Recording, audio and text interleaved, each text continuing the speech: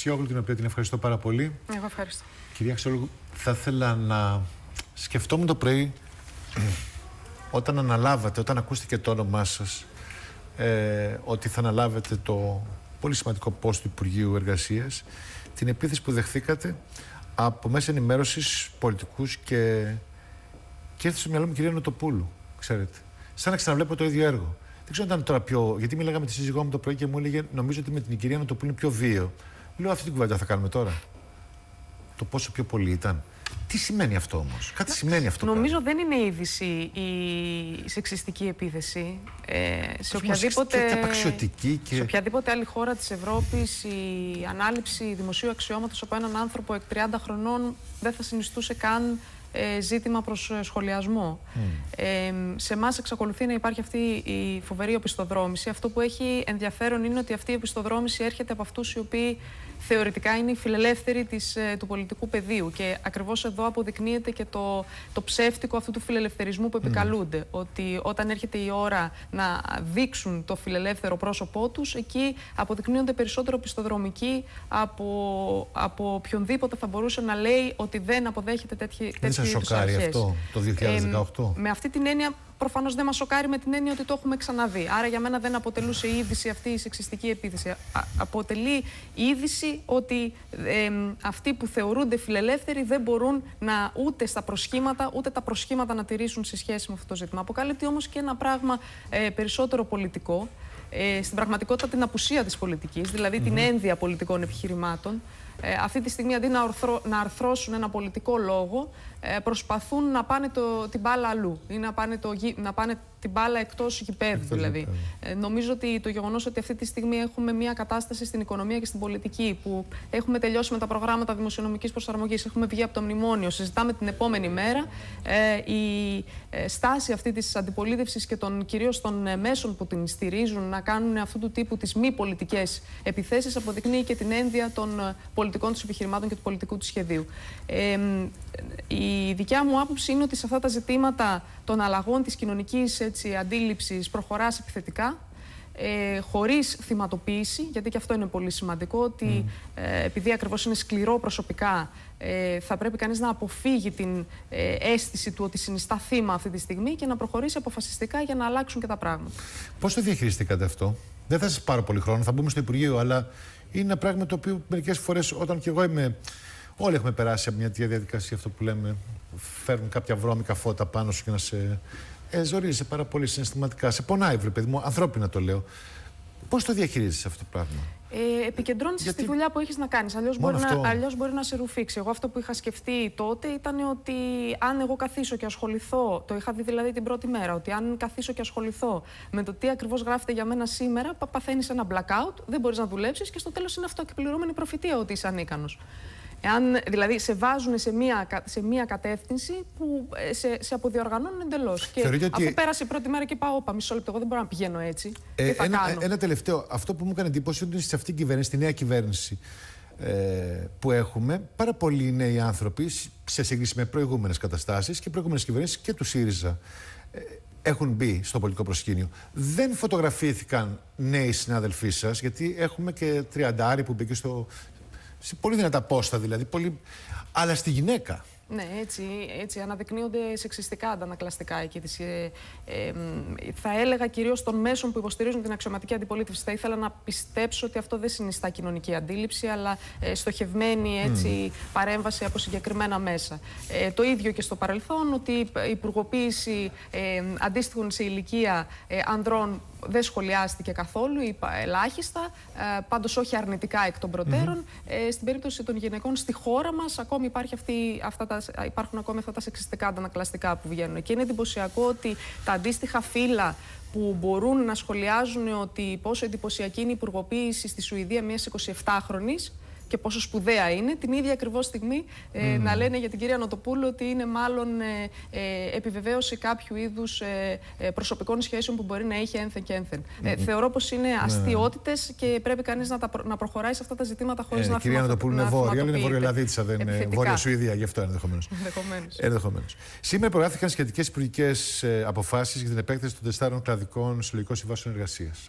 Σήμερα επεκτείνονται για πρώτη φορά ε, οι πρώτες κλαδικές συλλογικές συμβάσεις ε, μετά το, την αναστολή του παγώματος των συλλογικών συμβάσεων που επιβλήθηκε στη χώρα το 2012. Σήμερα, Είναι δηλαδή, στι τράπεζε, στα ναυτιλιακά πρακτορία, θέλω να σας πω, και επιχειρήσεις. Και στα γραφεία τουρισμού. Γραφεία τουρισμού, ταξιδίου, περίπου 70-75.000 εργαζόμενοι. 75.000 εργαζόμενοι καλύπτονται από αυτές τις κλαδικές συλλογικές συμβάσεις. Είναι μια πράξη που δείχνει ότι εμπράκτος επιβεβαιώνουμε τη μεγάλη δέσμευση που είχαμε αναλάβει απέναντι στην κοινωνική πλειοψηφία ότι θα επαναφέρουμε τις συλλογικές συμβάσεις εργασίας σε αυτόν τον τόπο, ότι θα αρχίσει να μπαίνει η χώρα σε μια ροή εργασιακής κανονικότητας, θα αρχίσει να μπαίνει γιατί ακόμη πολλά πρέπει να γίνουν.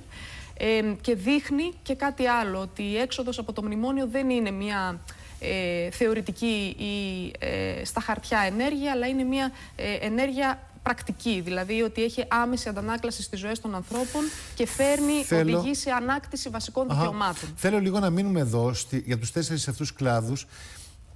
Πώς έγινε αυτή η συμφωνία, Ποιος έπαιξε το ρόλο, εκτός από την πολιτική βούληση της κυβέρνησης. Ωραία, δεν είναι και δικιά σας δουλειά αποκλειστικά, είναι και των ε, φορέων και των συνδικάτων. Οι κλαδικές συλλογικές συμβάσεις υπογράφονται μεταξύ των εργοδοτών και των εργαζόμενων του κλάδου, των αντιπροσωπευτικών τους οργανώσεων. Η επέκταση αυτών, το να, το να γίνει δηλαδή μια συλλογική σύμβαση που ε, υφίσταται υποχρεωτική για όλο τον κλάδο είναι δουλειά του κράτους. Και αυτός ήταν ο λόγος που επιμέναμε τόσο, τόσο πολύ στην επαναφορά τους. Αυτό που είχε συμβεί από το 12 μέχρι ε, πριν από λίγες μέρες, γιατί 21 Αυγούστου τελείωσε αυτό το καθεστώς, ήταν ότι δεν μπορούσε να καπαστεί μια συλλογική σύμβαση μου... υποχρεωτική σε όλο τον κλάδο. Κυρία Υπουργέ, μπορείτε να, μου, να με βοηθήσετε και εμένα και τους τηλεθεατές να κατανοήσουμε τι σημαίνει για έναν εργαζόμενο σε γραφείο ταξιδίων το χθες με το σήμερα, η διαφορά δηλαδή στη ζωή του; Ναι.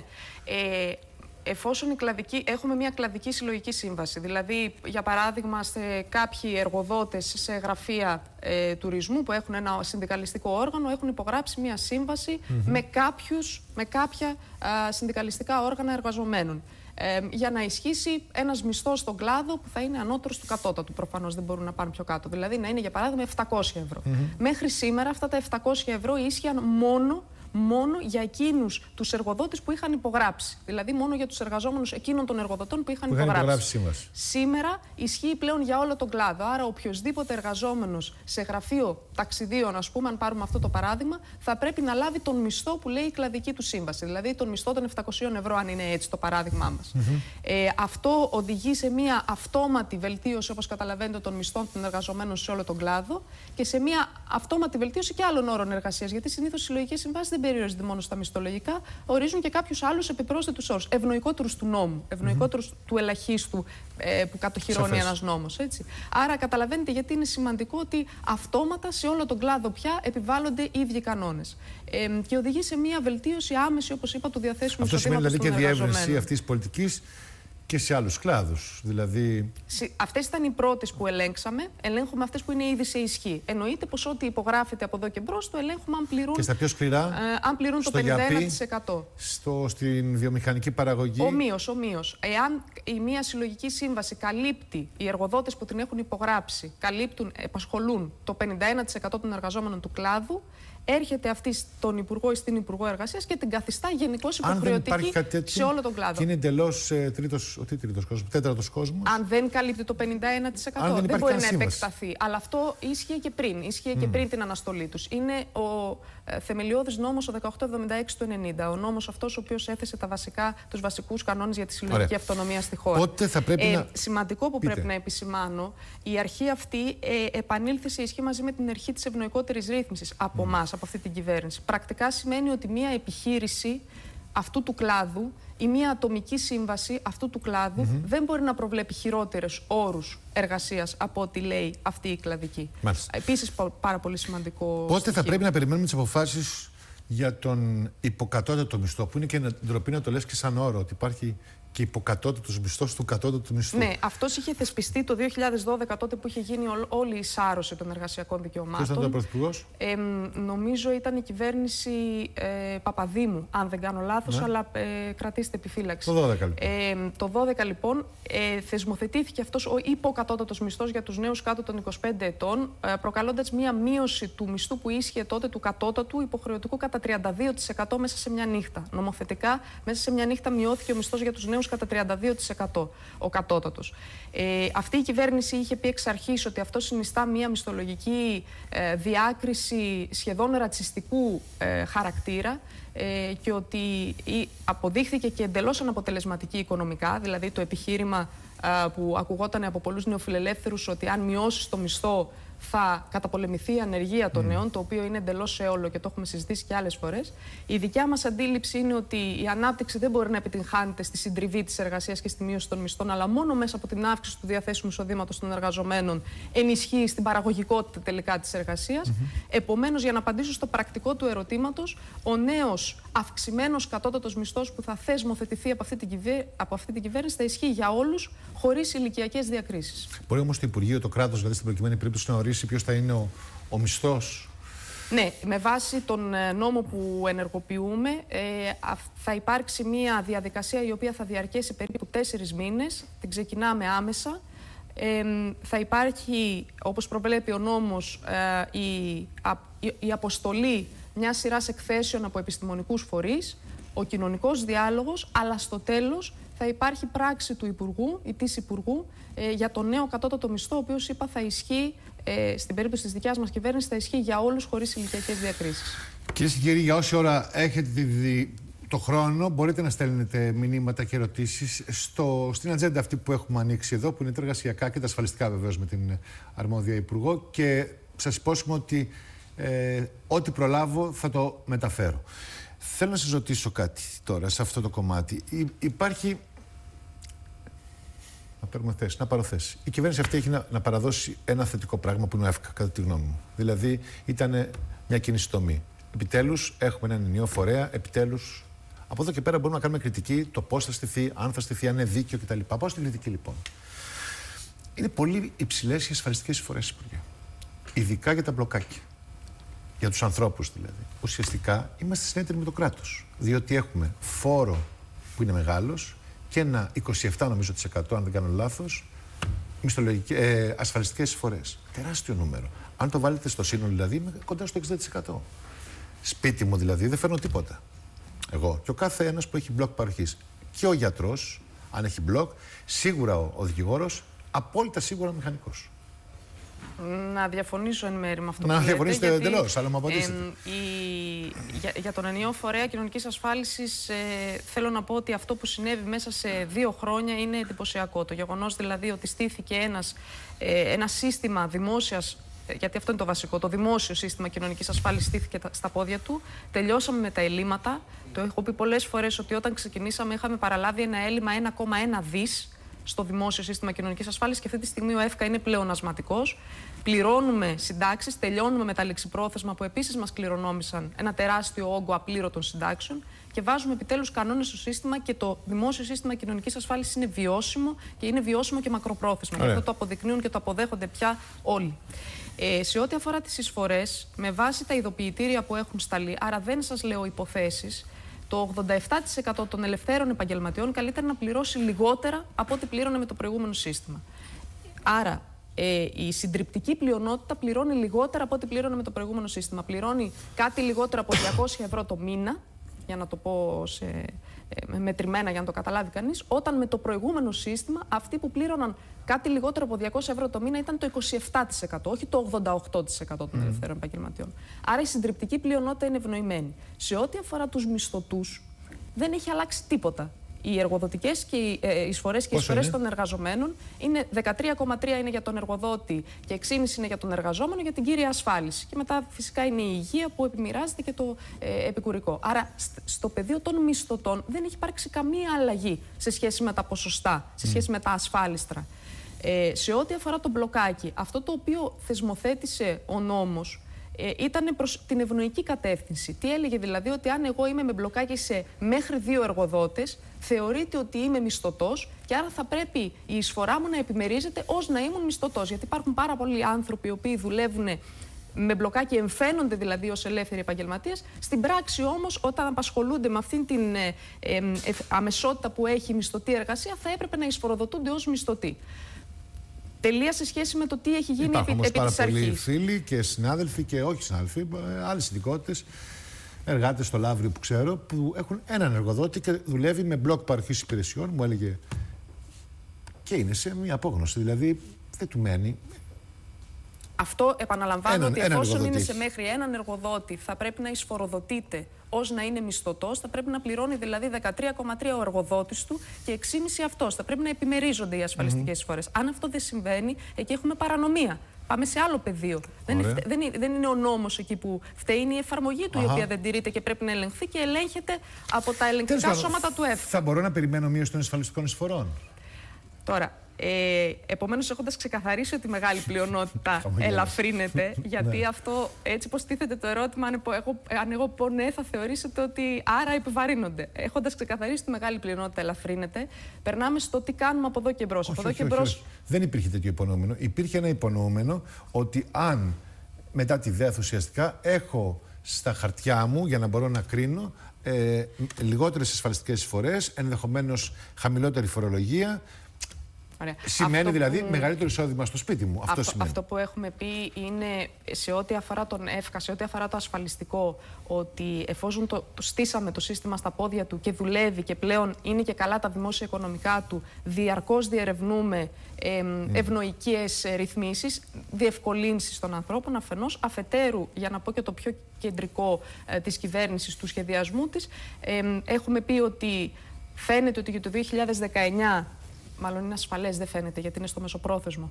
Υπάρχει ένας δημοσιονομικός χώρος άνω των 750 εκατομμυρίων διαθέσιμος, ο οποίος γίνεται επεκτατικός στα επόμενα χρόνια, είναι περισσότερα δηλαδή για το 20 για το 21, και τα οποία θα εξειδικευτούν από τον Πρωθυπουργό στη ΔΕΘ σε ένα μείγμα πολιτικής που θα έχει φόρο ελαφρύνσης, ενδεχομένως και ίσφορο ελαφρύνση και κοινωνικές παροχές. Άρα να περιμένουμε τις ανακοινώσεις του Πρωθυπουργού στη Ναι, ΔΕΘ. ε, καλά, που αφού θα στο κομμάτι αυτό εξειδικεύσουν- δικιά σας εισήγηση είναι ουσιαστικά. Θα, θα εξειδικεύσουν, ε, ναι, Γι' αλλά αυτό είναι το δικός ρώτησα. του ο λόγος. Εντάξει, δικός του είναι ο λόγος, αλλά η εισήγηση θα είναι το Υπουργείο. Θα ότι- εξειδικεύσουν αυτού, αυ- αυτό το Όχι. ποσό πώς θα Σωστά, δε, κατανεμηθεί. για να καταλαβαίνει και ο κόσμος. Ότι όταν ένας πρωθυπουργός βγαίνεις στη ΔΕΘ ή σε μια δημόσια δήλωση για τώρα όλα τα υπουργεία. Η εισήγηση ουσιαστικά δεν είναι από τα επιτελεία των προφανώς. υπουργών. Ε, αυτό Πώς για να αλλιώς θα καταλαβαίνει ο μπορούσε- κόσμο. πώς αλλιώς θα μπορούσε να ξέρει τι γίνεται με τις Μου λέει εισφορές; τώρα. ο- Να, τώρα πάνω στην κουβέντα και θα είναι και άλλες τέτοιες περιπτώσεις. Ότι υπάρχουν άνθρωποι, είναι 68 χρόνων αυτός, δεν παίρνει σύνταξη, οφείλει στο ΤΕΒΕ 100.000 ευρώ. Υπάρχουν ομαδοποίησεις σε αυτές τις περιπτώσεις των ανθρώπων είναι και γνωστό είναι αυτό το- άνθρωποι της κρίσης. Αυτό το ζήτημα είναι από τα πιο κορυφαία ζητήματα. Μου το θέτουν σχεδόν σε κάθε επαφή που έχω. Τι λέει ο, ο φίλος εδώ, λέει ότι εγώ έχω βρεθεί σε μια ηλικία που θα έπρεπε να λαμβάνω μια σύνταξη, αλλά λόγω των πάρα πολύ μεγάλων οφειλών που έχω στο ταμείο μου δεν δικαιούμαι να λάβω σύνταξη. Πολλοί εξ αυτών μάλιστα λένε ότι δεν με πειράζει. Ας, ας μου συμψηφιστεί το οφειλόμενο προκειμένου να μπορέσω να πάρω μια σύνταξη να έχω ένα πορεύμα γιατί αυτή τη στιγμή δεν παίρνω τίποτα. Ε, εδώ υπάρχουν δύο ένα πράγμα που ήδη ισχύει και κάτι που ε, προσπαθούμε να το σχεδιάσουμε. Αυτό που ήδη ισχύει είναι ότι υπάρχει το επίδομα του ανασφάλιστου υπερήλικα, δηλαδή ο νόμος ασφαλιστικός έχει προβλέψει για αυτούς οι οποίοι συμπληρώνουν ε, μια ηλικία, από μια ηλικία και πάνω, να μπορούν να λαμβάνουν το επίδομα του ανασφάλιστου υπερήλικα ανεξαρτήτως από το αν έχουν ποτέ πληρώσει. Ουσιαστικά είναι μια προνοιακού τύπου παροχή του κράτους. Ε, εδώ όμως χρειάζεται να συντρέχουν και μια σειρά από περιουσιακά στοιχεία για να μπορέσει να το λάβει κανείς. Ε, το δεύτερο στοιχείο είναι ότι προσπαθούμε και εμείς τώρα να δούμε τις δυνατότητες, γι' αυτό αυτό που με τον ΕΦΚΑ που είπα έχει αξία, ε, κατά πόσον θα μπορούμε σε περιπτώσεις που υπάρχουν παρόλα αυτά οφειλές των συνταξιούχων να μπορούν οι άνθρωποι να λάβουν μια σύνταξη και ίσως να γίνεται μια ένα Μάλιστα. συμψηφισμό με τις οφειλές τους. Το εξετάζουμε, άρα ξέρω ότι είναι μείζον ζήτημα, μου το θέτουν και εμένα καθημερινά. Το εξετάζουμε. Αλέξανδρο, δεν το πιάσε αυτό που είπες για την καθυστέρηση συντάξεων. Α, ωραία. Λέει ο Αλέξανδρος, ε, μηνύματα και όλων τηλεθεατών, τι θα γίνει με την καθυστέρηση των συντάξεων. Να πω μερικά πράγματα εδώ για το που είμαστε. Ε, εμείς όταν ξεκινήσαμε είχαμε απλήρωτες συντάξεις στα συρτάρια μας 400.000. Άρα για να ξέρουμε και από πού ξεκινήσαμε. Ε, κάθε, κάθε μήνα προφανώς προστίθενται νέες αιτήσεις. Έτσι. Αυτή τη στιγμή βρισκόμαστε στις 47.000 ή κάτι λιγότερο εκρεμείς κύριες.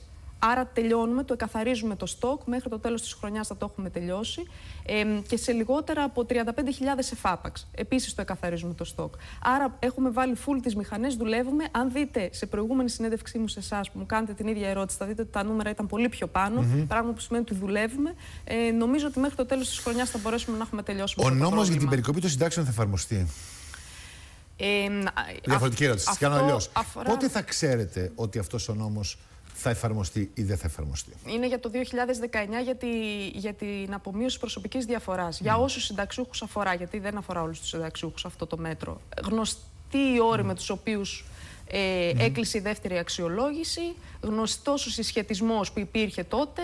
Εμείς από την πλευρά μας τότε υποστηρίζαμε και σήμερα αποδεικνύεται ότι το μέτρο αυτό της απομείωσης προσωπικής διαφοράς δεν είναι αναγκαίο ούτε δημοσιονομικά, Δηλαδή, η κυβέρνηση μπορεί να επιτυγχάνει τους στόχους της κανονικά και αυτό φαίνεται, χωρίς να χρειάζονται άλλα μέτρα τέτοια, ούτε διαρθρωτικά. Διαρθρωτικά δηλαδή το δημόσιο σύστημα κοινωνικής ασφάλισης να στέκεται στα πόδια του και να είναι βιώσιμο, χωρίς να χρειάζεται την εφαρμογή άλλων μέτρων μείωσης τη συνταξιοδοτική δαπάνης.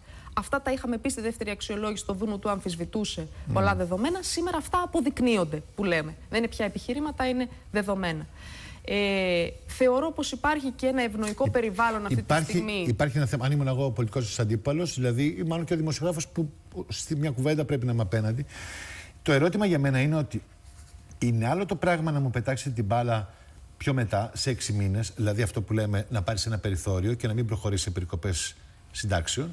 Και είναι άλλο πράγμα και έχει άλλη πολιτική αξία να το τελειώσεις ή να δεσμευτείς ότι έχει τελειώσει. Τα δεδομένα, ε, κα, κατεληγμένα δεδομένα θα έχουμε περίπου τον Οκτώβρη. Όταν τι εννοούν οι κύκλοι της κυβέρνησης που λένε, και ξέρω τι λέω, ότι το θέμα των συντάξεων έχει κλειδώσει θετικά για την κυβέρνηση. Και το συνδυάζω αυτό και με τις δηλώσεις Μοσχοβησί δεν εκτέθηκε. Οι δηλώσεις Μοσκοβισή δείχνουν αυτό που είπα πριν, ότι πολιτικά αυτή τη στιγμή υπάρχει ναι, ένα κλίμα στην Ευρώπη. Δεν θεωρώ ότι ήταν ανόητος ο κ. Μοσκοβισή να εκτεθεί. Καθόλου, καθόλου. Υπάρχει αυτή τη στιγμή πολιτικά ένα κλίμα στην Ευρώπη πολύ ευνοϊκότερο για την κυβέρνηση και για το πώς είναι τα δεδομένα σε σχέση με το έργο που επιτελούμε, σε σχέση με αυτό που επικρατούσε στη δεύτερη αξιολόγηση. Κύριε Υπουργέ, είναι στην προκειμένη περίπτωση να μην μειωθούν οι συντάξεις. Αυτό δεν το λέω αριστερά, το λέω ουσιαστικά διαχείριση θετική. Είναι ακόμα και να ξαναμπούμε σε μια λογική να επιστρέψουν εκλεμμένα ουσιαστικά με όλη τη σημασία της λέξεως από ε, συντάξεις που κόπηκαν στα προηγούμενα χρόνια. Δηλαδή να πάμε πάλι σε μια, ε, πώς να το πω, σε μια υγιή ρύθμιση της βίας που έγινε πριν. Η... Ο στόχος αυτής της κυβέρνησης είναι οπωσδήποτε να μπορέσει να ανακτήσει ο κόσμος της εργασίας, ε, οι άνθρωποι του μόχθου, οι, άνθρωποι, η μεγάλη κοινωνική πλειοψηφία, για να μπορώ να το περιγράψω mm συνοπτικά, να ανακτήσει καταρχήν τα δικαιώματα τα οποία απολέστηκαν την περίοδο 2010-2014, εξού και αυτά που λέγαμε στην αρχή, αλλά προφανώς να μπορέσει να ε, ε, χτίσει εκ νέου το διαθέσιμο εισόδημά του. Αυτό σημαίνει να αυξηθεί το διαθέσιμο εισόδημά του. Γι' αυτό και κάνουμε και όλη την επικέντρωση στους εργαζόμενους με τον κατώτατο μισθό και τις συλλογικές συμβάσεις εργασίας. Σε ό,τι αφορά το μέτρο για το 2019, σας είπα ποια είναι τα δεδομένα αυτή τη στιγμή. Δεν, δεν υπάρχει κάτι άλλο να σας πω αυτή τη στιγμή. Άρα, ε, δηλώσεις ε, και άλλα ρεπορτάζ ε, Προφανώς θα γίνονται, γιατί ξέρω ότι είναι ένα θέμα που απασχολεί έτσι πολύ, αλλά δεν υπάρχει κάτι νεότερο από αυτό που σας είπα. Τα δεδομένα, τα καταληγμένα θα εμφανιστούν ε, στον προπολογισμό που θα συζητήσουμε στη Βουλή περίπου τον Οκτώβριο, στον προπολογισμό του 2019. Αυτό που εμείς λέμε και ως Υπουργείο, έχοντας πια όλα τα δεδομένα στη διάθεσή μας και τις μελέτες στη διάθεσή μας, είναι ότι ε, ούτε το μέτρο, είναι, το μέτρο δεν είναι αναγκαίο ούτε διαρθρωτικά, δηλαδή για να στέκεται το δημόσιο σύστημα κοινωνικής ασφάλισης, δεν χρειάζεται να μειωθεί άλλο η συνταξιοδοτική δαπάνη της χώρας. Το αντίθετο. Υπάρχουν περιθώρια πια για να αρχίσουν να γίνονται βελτιωτικές παρεμβάσεις. Ούτε όμως και στη γενική κυβέρνηση δημοσιονομικά για να μπορέσει να επιτύχει Να σας ρωτήσω, στη δικιά σας κυβέρνηση ή μάλλον στην γενιά των συνταξιούχων που είναι τώρα στα πράγματα, θα ζήσουμε την επιστροφή του 13ου ε, της 13ης σύνταξης ή θα έχουμε ε, μοίρασμα αυτής στους 12 μήνες αν έχετε θέμα, εκεί μιλάω για αύξηση συντάξεων; Ε, είναι, Ή χάθηκε αυτό είναι δύο ζητήματα. το ένα ζήτημα είναι ε, που αφορά κάθε φορά το τέλος της χρονιάς, αφορά τη δυνατότητα να μπορέσει η οικονομία να υπεραποδώσει σε σχέση με τους στόχους και άρα να μπορέσουμε να επιστρέψουμε στην κοινωνική πλειοψηφία μέσω κοινωνικού μερίσματος. Το οποίο, όπως ξέρετε, και τις δύο χρονιές που το έκανε η κυβέρνησή μας στοχευμένα, ενίσχυσε ιδιαίτερα και τους χάμηλους συνταξιούχους. Τη μία φορά Σωστά. ρητά, την άλλη φορά ε, εκ των πραγμάτων ενισχύθηκαν οι χαμηλούς συνταξιούχοι. Άρα το βλέμμα μας πάντα είναι εκεί, σε παρεμβάσεις ενίσχυσης ενίσχυσης αυτών των ανθρώπων. Μέσα στη χρονιά κάναμε δύο παρεμβάσεις επίσης πολύ σημαντικές. Επιστρέψαμε τις ε, παρανόμως παρακρατηθήσεις εισφορέ υγείας από τις προηγούμενες κυβερνήσεις του συνταξιούχους. Αυτό για το φέρτε πίσω τα κλεμμένα δηλαδή που, που ναι. λέει πολλοί κόσμος. Την κάναμε αυτή την επιστροφή. Διορθώσαμε και άλλα λάθη που υπήρχαν σε σχέση με τις κρατήσεις που γίνονταν στις συντάξεις και επίσης επιστράφηκαν χρήματα στους συνταξιούχους σε επικουρικές ενώ μέσα στο καλοκαίρι. Τι λένε όλα αυτά, Όλα αυτά λένε ότι εφόσον δημοσιονομικά μας διευρύνεται το περιθώριο, πολιτικά φαίνεται ότι η βούλησή μας είναι συνεχώς στην ενίσχυση των χαμηλοσυνταξιούχων. Εδώ... Όμως, mm. άλλου τύπου δεσμεύσεις αυτή τη στιγμή δεν θα αναλάβω. Δηλαδή, αυτή τη στιγμή τα, μελή... τα μελήματά μας είναι συγκεκριμένα και στο τέλος της μέρας είναι πάντα καλύτερο να κάνεις κάτι και να λες: Ορίστε, το έφερα, παρά να προαναγγέλεις πάρα πολλά Εντάξει. πράγματα που, που δεν ξέρεις αν μπορείς να φέρεις. Έχω ερωτήματα εδώ τηλεθέτων. Η Φωτεινή Λαμπρίδη μου τα η μεταφέρει. Η επικουρική κατά πάσα πιθανότητα εννοεί την έκδοση των επικουρικών. Ναι, γιατί υπάρχει ε, μεγαλύτερο στόκ επικουρικών σε σχέση με τις κύριες. Ε, Όπως είπα και στο προηγούμενο ερώτημα, τρέχουμε πολύ εντατικά προκειμένου να τελειώσουμε μέσα στους επόμενους μήνες και με, το, με τις ληξιπρόθεσμες. Ο Δεκέμβρη λοιπόν είναι για εσά το στίχημα, από ό,τι κατάλαβα, ώστε να μην έχουμε στόκ παραπονούμενων δικαίως πολιτών. Ναι, ο Δεκέμβρης είναι το, το όριό μας, ναι. Μάλιστα.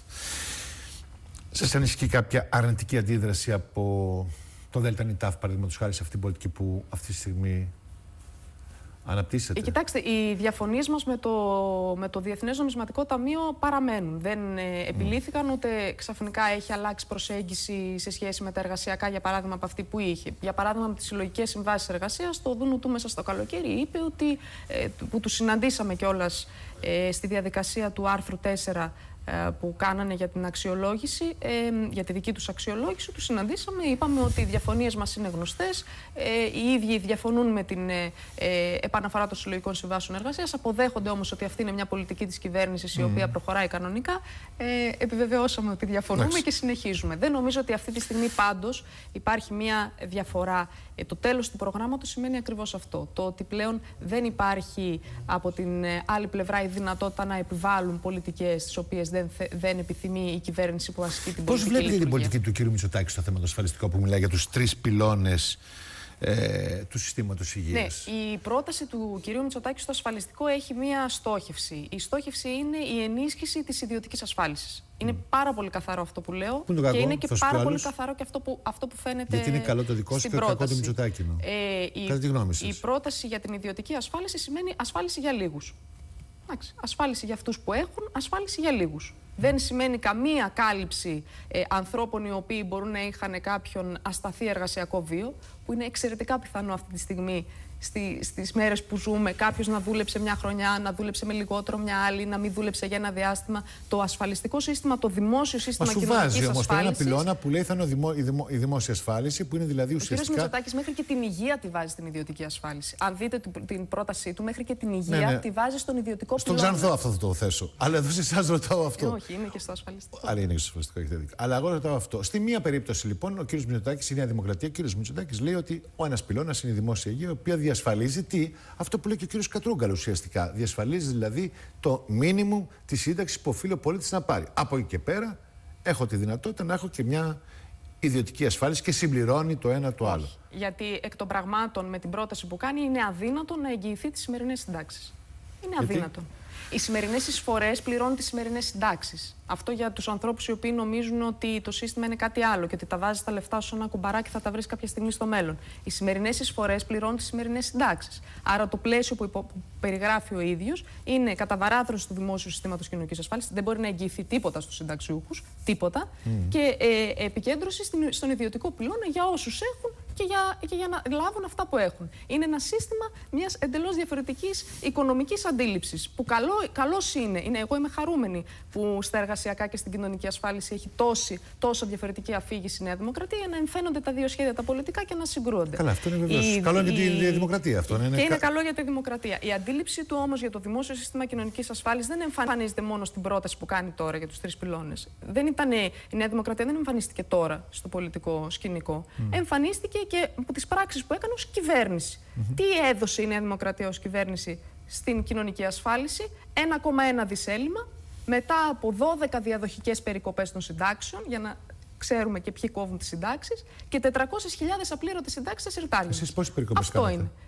Για να κρίνω τη δεξιά με την αριστερά η, η συγκεκριμένη κυβέρνηση είναι μια ερώτηση παγίδα αυτή, γιατί το έχω δει στον κύριο Κατρούγκαλο που ο άνθρωπος είπε κάτι πολύ σοβαρό και εν συνεχεία παρερμηνεύτηκε. Είπε ο άνθρωπος ότι ε, με το νέο ασφαλιστικό νόμο δεν έγιναν περικοπές στις κύριες συντάξεις και αυτό μετά το κάνανε σημαία ε, λέγοντας ότι λέει ψέματα. Ενώ είναι μια νομική πραγματικότητα. Ότι ο, ο νέος ασφαλιστικός νόμος 4387 δεν μείωσε με κάποιον τρόπο τις κύριες συντάξεις. Αυτό σημαίνει, σημαίνει ότι βελτιώθηκαν τα εισοδήματα των ε, συνταξιούχων; Όχι, τα εισοδήματα των συνταξιούχων έμειναν εκεί που ήταν. Προφανώς χρειάζεται βελτίωση του διαθέσιμου εισοδήματος των συνταξιούχων. Α, ξεκαθαρίζουμε λίγο και θα πότε έγινε εγώ γιατί. Αλλά νομίζω ότι οι συνταξιούχοι ξέρουν καλύτερα πότε υπέστησαν κατά βαράθρο στις συντάξει. Θα σας πω εγώ για την ερώτηση παγίδα. Γιατί μπαίνει αυτό το ερώτημα. Μπαίνει αυτό το ερώτημα είναι ότι αν στην προηγούμενη κατάσταση, πολιτική κατάσταση που είχαμε, οι άλλοι κάνανε την πολύ μεγάλη δουλειά, τη βρώμικη δουλειά εννοώ, και κόψαν αυτό που περίσσευε γιατί δεν μπορούσαν, και κόψετε και εσείς και ό,τι άλλο ήταν, και το φέρετε σε μια ισορροπία,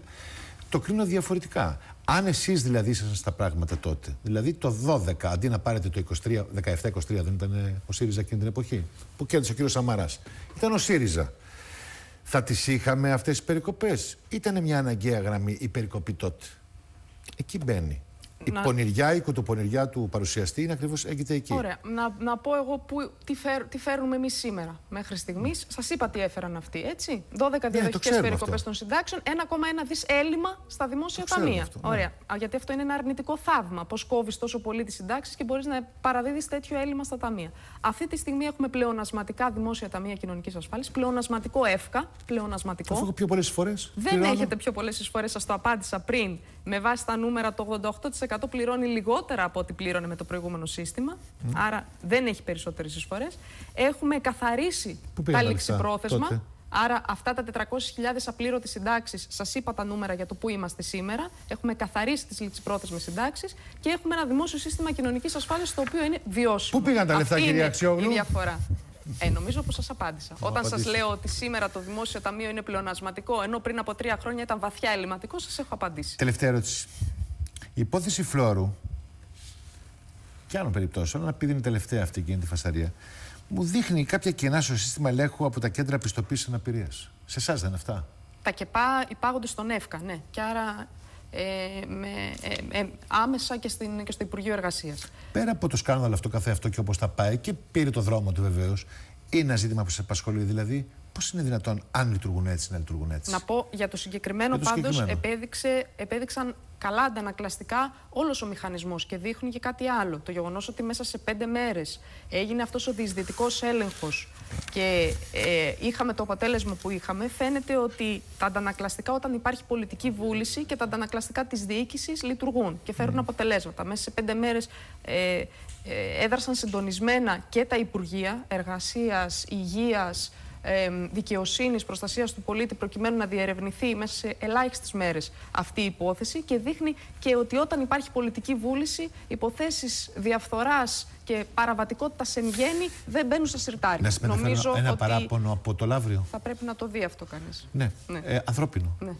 Πολλές φορές υπάρχουν συνανθρωποί μας οι οποίοι πραγματικά δεν μπορούν να πάνε στα κέντρα, διότι δεν μπορούν να πάνε στα κέντρα. Δηλαδή δεν μπορούν να μετακινηθούν. Ναι. Δεν υπάρχει ένας τρόπος να πηγαίνει η Επιτροπή στους κλινήρες, στους συμπολίτες μας, γιατί είναι μια τρέλα αυτό το πράγμα. Να παίρνεις τον άνθρωπο, να τον βάζεις ένα... Μόλις απαντήσατε... Ειδικά στις μικρές κοινωνίες, δηλαδή απαντήσατε... στο Λαύριο, και το έμαθα. Δηλαδή μου το έπανε βρε Κώστα, χωρίς να ξέρω θα είμαστε μαζί. Αυτό συμβαίνει. Μόλις απαντήσατε γιατί με, μια, με την αφορμή μιας παραβατικότητας σοβαρής δεν πρέπει κανείς να κάνει βιαστικές κινήσεις mm. θεσμικές σε ένα σύστημα. Δηλαδή, δεν πρέπει κανείς για λόγους επικοινωνιακού ε, χαρακτήρα να πει ότι αλλάζω όλο το σύστημα αξιολόγησης αναπηρίας και τώρα τα άτομα με αναπηρίες θα πρέπει να περνάνε από τέσσερις ελέγχους προκειμένου να βγουν τα πιστοποιητικά. Καταλάβετε ποιο θα ήταν το σφάλμα αν κανείς έβγαινε να κάνει μια τέτοια δήλωση. Γι' αυτό πρέπει κανείς λίγο μεθοδικά να στοχεύει τις περιπτώσεις mm. τη ε, ε, παραβατικότητας, αλλά να φροντίζει να μην αυτά οδηγούν σε μια ταλαιπωρία εν γέννη των ανθρώπων των ατόμων. Χαρήκατε πριν στο Υπουργείο ή θα θέλετε να πάτε κάπου αλλού; Αυτό το ζήτημα είναι αποκλειστικά στην ευθύνη του Πρωθυπουργού. Ε, καλά, τώρα μεταξύ μας μιλάμε. Αλλά τώρα μεταξύ μας νομίζω ότι το Υπουργείο Εργασίας έχει πάρα πολύ ε, σημαντικό έργο μπροστά του. Αυτό που κάναμε σήμερα με την επέκταση των κλαδικών συλλογικών συμβάσεων συνιστά και μια έτσι πολιτική mm. δικαίωση που ε, τη θέλαμε πολύ μετά από πάρα πολλή δουλειά που κάναμε και ε, θεωρώ πως είναι από τα πιο σημαντικά έργα που μπορούμε να έχουμε μπροστά μας επόμενους μήνες. να είστε καλά. Καλή σεζόν. Ευχαριστώ πάρα πολύ. Διαφημίσεις κυρίες και κύριοι για να πάμε κι εμείς και να έχουμε κι εμείς καλή σεζόν.